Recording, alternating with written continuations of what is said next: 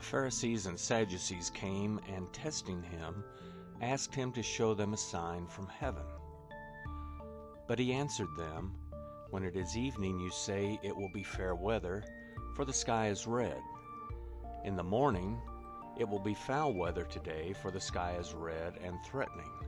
Hypocrites! You know how to discern the appearance of the sky, but you can't discern the signs of the times. An evil and adulterous generation seeks after a sign, and there will be no sign given to it except the sign of the prophet Jonah. He left them and departed. The disciples came to the other side and had forgotten to take bread. Jesus said to them, Take heed and beware of the yeast of the Pharisees and Sadducees. They reasoned among themselves, saying, We brought no bread. Jesus, perceiving it, said, Why do you reason among yourselves, you of little faith, because you have brought no bread? Don't you yet perceive, neither remember, the five loaves for the five thousand, and how many baskets you took up, nor the seven loaves for the four thousand, and how many baskets you took up. How is it that you don't perceive that I didn't speak to you concerning bread?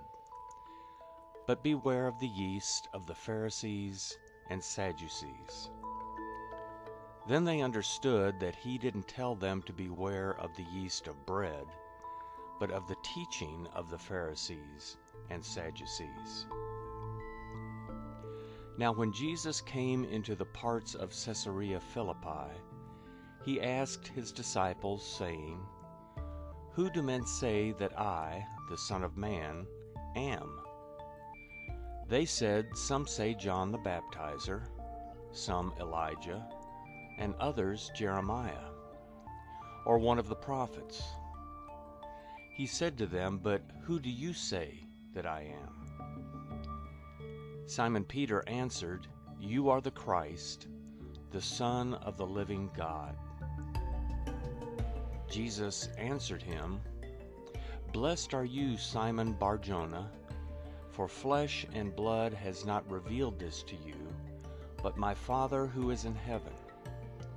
I also tell you that you are Peter, and on this rock I will build my assembly, and the gates of Hades will not prevail against it. I will give to you the keys of the kingdom of heaven, and whatever you bind on earth will have been bound in heaven, and whatever you release on earth will have been released in heaven. Then he commanded the disciples that they should tell no one that he was Jesus the Christ. From that time Jesus began to show his disciples that he must go to Jerusalem and suffer many things from the elders, chief priests, and scribes, and be killed, and the third day be raised up. Peter took him aside and began to rebuke him, saying, Far be it from you, Lord, this will never be done to you. But he turned and said to Peter, Get behind me, Satan.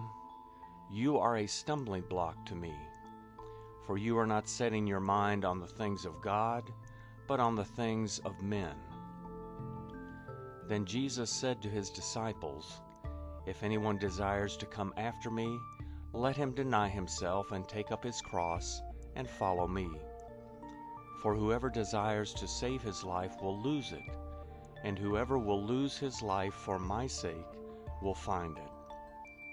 For what will it profit a man if he gains the whole world and forfeits his life? Or what will a man give in exchange for his life? For the Son of Man will come in the glory of his Father with his angels, and then he will render to everyone according to his deeds. Most certainly I tell you, there are some standing here who will in no way taste of death until they see the Son of Man coming in his kingdom.